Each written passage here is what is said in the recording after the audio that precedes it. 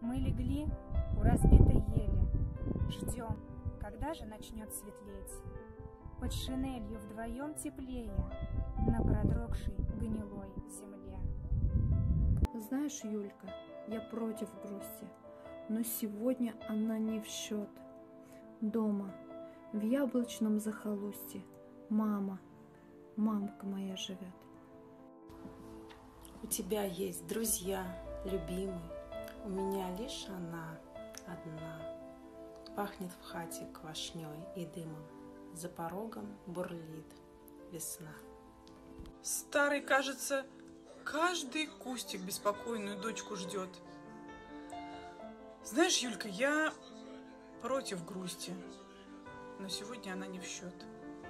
Отогрелись мы еле-еле. Вдруг приказ выступать вперед. Снова рядом в сырой шинели светлокосый солдат идет.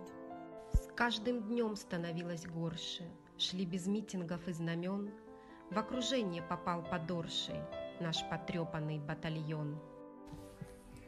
Зинка нас повела в атаку, Мы пробились по черной ржи, По воронкам и буеракам Через смертные рубежи.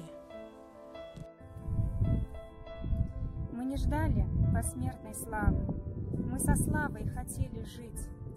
Отчего же в бинтах кровавых Светлокосый солдат лежит? Ее тело своей шинелью укрывала я зубы сжав. Белорусские хаты пели о рязанских глухих садах. Знаешь, Зинка, я против грусти, но сегодня она не в счет.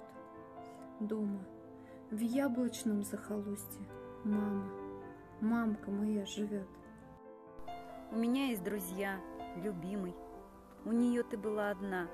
Пахнет в хате квашней дымом. За порогом стоит весна. И старушка в цветастом платье у иконы свечу зажгла. Я не знаю, как написать ей, чтобы она тебя не ждала.